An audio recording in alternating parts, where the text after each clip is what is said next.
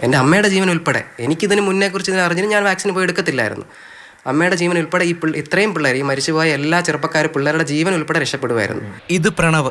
Covishield vaccine തിരിച്ചടിയായപ്പോൾ സ്വന്തം അമ്മയുടെ ജീവൻ നഷ്ടപ്പെട്ടെന്നാണ് പ്രണവ് പറയുന്നത്. ഹോസ്പിറ്റലിൽ കൊണ്ടുപോയപ്പോഴത്തേക്കും മരണകാരണം അറിയില്ല. അതുകൊണ്ടാണ് പോസ്റ്റ്മോർട്ടം ചെയ്തത്. പോസ്റ്റ്മോർട്ടത്തിലാണ് ഇൻട്രക്കൽ ഹെമറേജ് അല്ലെങ്കിൽ സബ് ആർക്കണേറ്റ് ഹെമറേജ് എന്ന് അറിഞ്ഞത്. കോവിഷീൽഡ് വാക്സിൻ എടുത്തവർക്ക് ഗുരുതര പാർശ്വഫലങ്ങൾ ഉണ്ടാകുന്നതെന്നാണ് പരാതി. രണ്ടായിരത്തി ഇരുപത്തി മൂന്ന് ഫെബ്രുവരി ഇരുപത്തിനാലിലാണ് പ്രണവിന്റെ അമ്മയ്ക്ക് മരണം സംഭവിക്കുന്നത്. തലച്ചോറിലുണ്ടായ രക്തസ്രാവമാണ് മരണത്തിന് കാരണമായത്. ഇൻട്രക്കൽ ഹെമറേജിലേക്ക് നയിക്കുന്ന രീതിയിലുള്ള കോമോർബിറ്റീസ് ഒന്നുമില്ല. ഹാർട്ട് ഇഷ്യൂസ് ഇല്ല കൊളസ്ട്രോൾ ബി പി അങ്ങനത്തെ പ്രശ്നങ്ങളൊന്നുമില്ല. ഒരുപാട് ഡോക്ടർമാരോട് സംസാരിച്ചു. ഒരുപാട് കാര്യങ്ങൾ വായിച്ചപ്പോഴാണ് ഇങ്ങനെ വാക്സിന് ഇതിന് റിലേറ്റഡ് ഒരു സൈഡ് എഫക്റ്റ് ഉണ്ടെന്ന് അറിഞ്ഞത്. വൈഡ് റേഞ്ചിൽ കാണുന്ന ഒരു ബ്ലഡ് ക്ലോട്ടിംഗ് ഇഷ്യൂ ഉണ്ട്.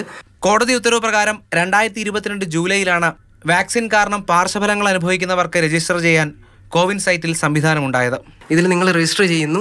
അതിനുശേഷം നിങ്ങൾ സബ്മിറ്റ് കൊടുക്കുമ്പോൾ നിങ്ങൾക്ക് ഒരു അക്നോളജ്മെന്റ് നമ്പർ കിട്ടും. സോ നിങ്ങൾ ഓക്കെ കൊടുത്താൽ അത് അവിടെ വാനിഷായി ആ link report side effect link നമ്മൾ ക്ലിക്ക് ചെയ്താൽ സെർവർ നോട്ട് ഫൗണ്ട് സോ അതാണ് ഇപ്പോൾ റീസെന്റ് ആയിട്ടുള്ള ഇഷ്യൂ ഇപ്പോൾ ഓൾമോസ്റ്റ് രണ്ടായിരത്തി ഇരുപത്തി ഒന്ന് മെയ് അഞ്ചിന് എ എഫ് എ ഫയൽ ചെയ്യുന്നു. ഇപ്പോൾ ഒരു വർഷം. മെയ് അഞ്ച് ആയപ്പോഴത്തേക്കും ഒരു വർഷമായി ഫയൽ ചെയ്തിട്ട്. ഇപ്പോഴും എനിക്ക് എന്താണ് സ്റ്റാറ്റസ് എന്ന് അറിയത്തില്ല. കേന്ദ്ര ആരോഗ്യ മന്ത്രാലയം പുറത്തുവിട്ട പട്ടിക പ്രകാരം ഇന്ത്യയിൽ പാർശ്വഫലമുണ്ടായെന്നറിയിച്ച രണ്ടായിരത്തി എഴുന്നൂറ്റി പതിമൂന്ന് പേരുടെ കേസുകളാണ് പരിശോധിച്ചത്. ഇതിൽ കേരളത്തിൽ നിന്നുള്ള നാനൂറ്റി അൻപത്തിയെട്ട് കേസും ഉൾപ്പെടും. എന്നാൽ ഈ കണക്കുകൾ പൂർണമല്ലെന്നാണ് മകളുടെ മരണത്തിൽ സുപ്രീം കോടതിയിൽ കേസ് നൽകിയ പിതാവ് ആരോപിക്കുന്നത്. ആകെ വന്നിട്ടുള്ള എല്ലാ എ എഫ് ഐയും കവർ ആയോ ചോദിച്ചാൽ ഇല്ല.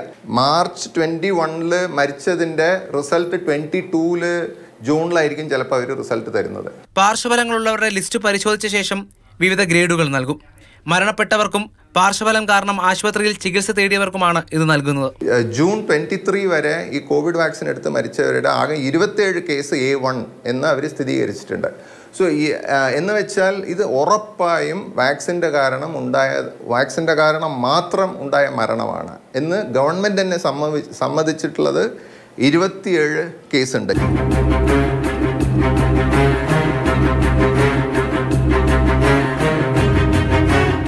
ഗവൺമെന്റിന്റെ ഭാഗത്തുനിന്ന് അതിനൊരു മറുപടി ഉണ്ട്. കാരണം കോടതി നോട്ടീസ് അയച്ചു അവർക്ക്. ഇതിന് മറുപടി പറയൂ പറഞ്ഞിട്ട്.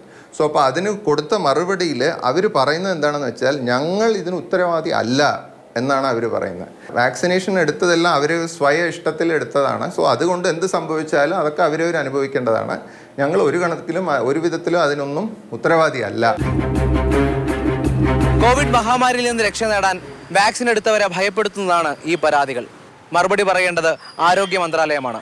രാഹുൽ ജിനാഥ് മാതൃഭൂമി ന്യൂസ് തിരുവനന്തപുരം.